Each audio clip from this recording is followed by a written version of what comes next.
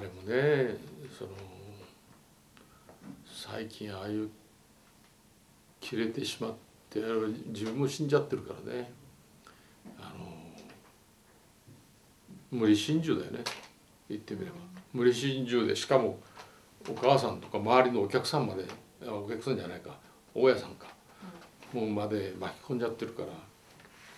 まあ、あれもその110番をねゴキブリとか子供暴れてるとか言って電話してくるっていう話も今日あったけども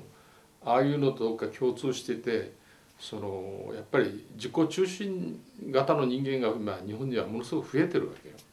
いわゆる自己中と言われ一頃流行ったでしょ自己中って。で今あんまり自己中ということは流行ってないけども実は自己中心的な人間は日本ではものすごく増えてる。これがあの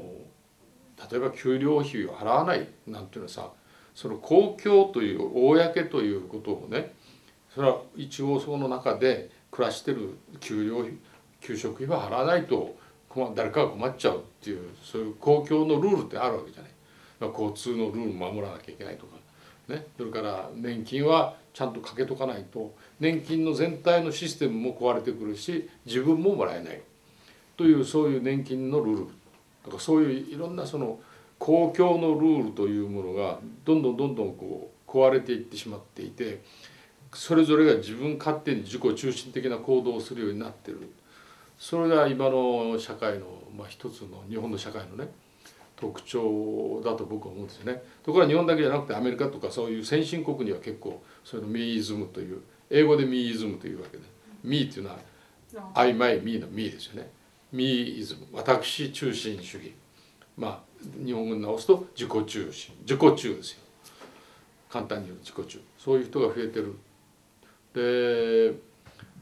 まあ離婚でその奥さんとの間がうまくね離婚話がうまくいかなくてカッとなるというとこまではよくあるんだろうけどもそれから先ね猟銃持ってきてねお母さんとかたしなみたお母さんとか周りの人も巻き込んで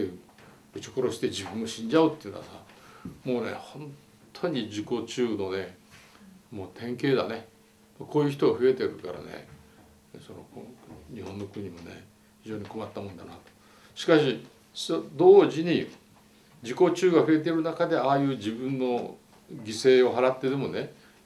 あの路上生活者の人たちをねホームレスの人たちをその何とかして自立させようと思ってあの一生懸命なっている人たちも一方でいるわけね